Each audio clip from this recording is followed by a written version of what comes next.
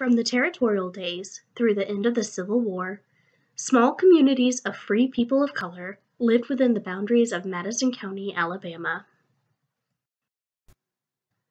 A free person of color was someone of full or partial African descent, not enslaved.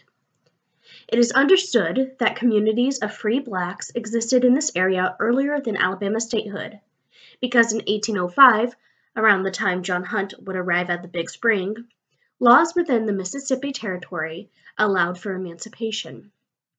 Census records indicate that in 1820, 569 free black individuals lived in Alabama, and by 1860, they numbered 2,098. In actuality, 99% of the black and mulatto population in Alabama were enslaved. Of the free people of color, 60% lived in five counties Mobile, Baldwin, Tuscaloosa, Montgomery, and Madison. Most were in urban areas that offered more chances to work for a living and perhaps to blend in unnoticed. Despite an increase in the free black population in those early decades, the percentage they comprised within the total Alabama population decreased by 1860. This is most likely due to the progressively limiting laws surrounding emancipation and on the free black population itself.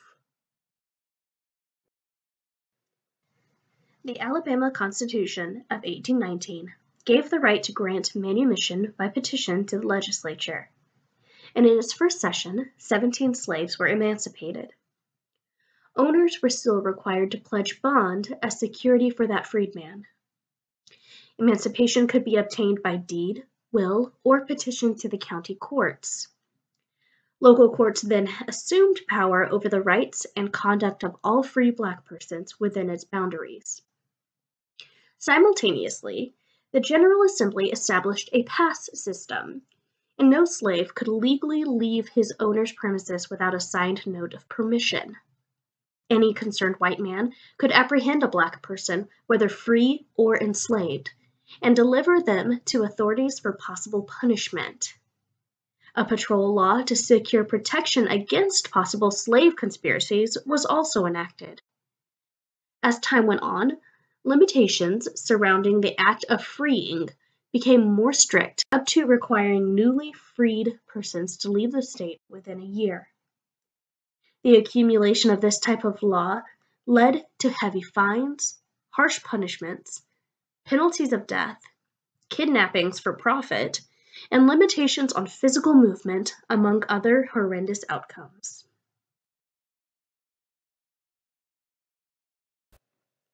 So then, in Alabama, how did one become a freed man?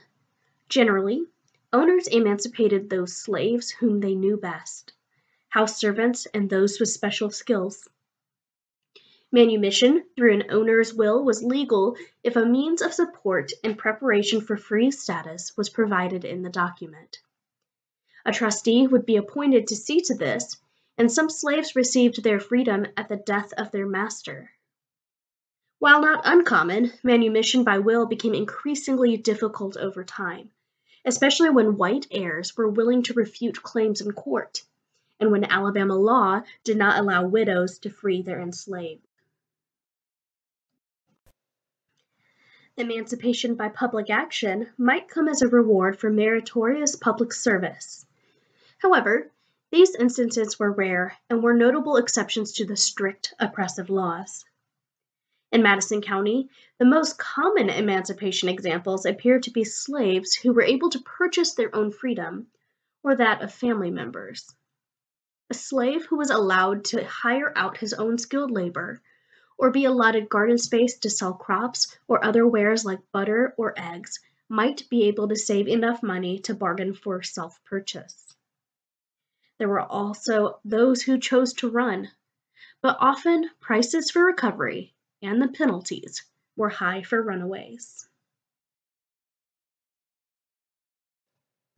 Most free people of color lived in towns clustered around other modest black and white, poor, and working class people but still convenient to upper class households who needed their services. Some in Madison County lived outside of the one square mile of Huntsville town limits, and near Triana, and in Madison Station. Like most of their white neighbors, freedmen's lives centered on work, family, and church.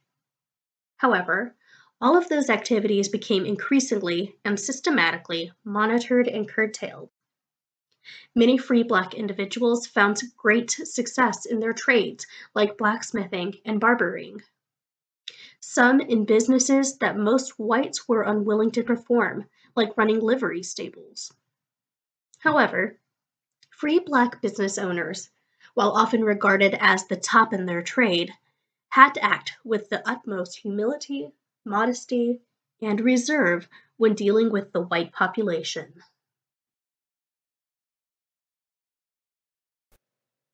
Churches for the black population, the earliest of which in Huntsville was St. Bartley's, and gatherings of more than six people were required to have a white person present to prevent the perceived possibility of planned uprisings.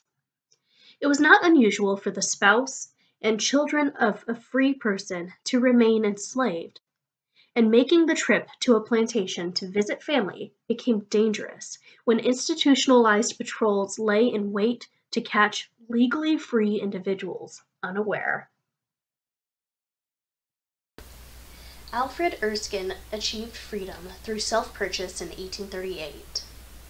Dr. Alexander Erskine attests I formerly owned the bearer, boy Alfred, who was 39 years of age at this time, five feet four and a half inches, of light copper color, generally termed a mulatto, hair bushy and straight, knock kneed, quick of speech and brisk in his actions, has a scar on the under corner of his right eye, running up the side of his nose, a scar in the palm of the right hand and one on the right elbow, both produced by burns. On the left arm near the elbow joint and a slight contraction of said joint, and also the mark of a burn on the inner side of the left leg near the knee. By his great industry and savings, said boy Alfred years since during which time he has been living in Alabama and Mississippi without having been emancipated by the laws of this state.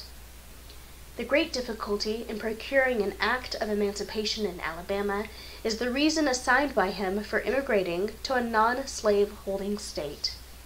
A paper of his description is deemed necessary to prevent him from being arrested as a runaway on his journey to Indiana or any other free state.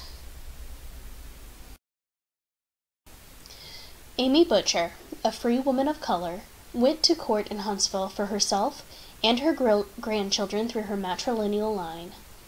They were directly descended through this line in Virginia from an Indian woman named Bess.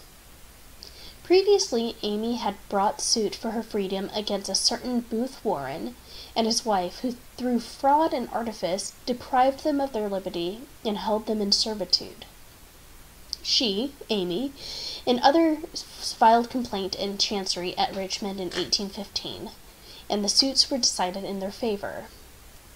Thus, she and her daughter Katie, according to testimony, were free and living in northern Virginia when James Dowell, or Sowell, kidnapped them and brought the two to Huntsville. He then sold the women to Thomas Miller for a mere trifle, and Miller later sold Katie to Samuel Davis. As time passed and the case was not decided readily, Amy's descendants also included Lessie and Lawrency, who claimed their freedom. The two women, in 1818, with Katie's children, brought suit in court for their freedom. If they were unable to establish their freedom, the plaintiffs were sure Miller and Davis would run them off to the lower country where Negroes commanded higher prices and sell them amongst strangers, where it would be difficult, if not impossible, to establish their identity. Many respectable citizens in this county who had been long acquainted with them could attest to their freedom. This case would go on for several years. Shandy Wesley Jones was born in Huntsville in 1816, the son of a white man and a mixed race free mother. The family later moved to Tuscaloosa, where he became a barber and a leading activist in the American Colonization Society. After the Civil War and during the many attempts to wrest control of local politics, Jones was a candidate for a registration clerk of his district. It was said of Jones he was a freedman of good character and endowed with no ordinary mind, reliable and intelligent, every way acceptable to ourselves and the community. The opposition suggested, however, he plays sorter on both sides of the fence and his would-be friends thinks very much of him. Jones went on to serve in the Alabama House of Representatives from 1868 to 1870. However, the times of the Reconstruction Congress could not contain the threats and violence by the Ku Klux Klan. Jones and his family fled to Moundville and eventually Mobile. There he was appointed by President Grant to the Customs Inspections Bureau. Milbury, a free woman of color, and Richard Bass entered into an indenture in May 1829. Her children Mary, Elvina, Henry, and Mahala Ann are in indigent circumstances, and being desirous of raising her children in honest ways, Milbury agrees to bind said children to Richard Bass as apprentices until each reaches the age of twenty one. He will instruct them in the art and mystery of farming or some other employment. He will furnish each necessary meat, drink, lodging, wearing apparel, and furnish each with a full suit of clothes at twenty one.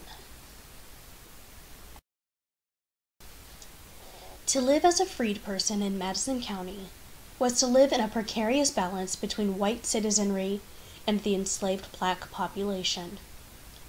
Free people of color were viewed with suspicion and fear by whites, and never totally accepted by the enslaved. They were, as one source put it, neither slave nor free. Although black and white people often lived side by side, the separation was unyielding.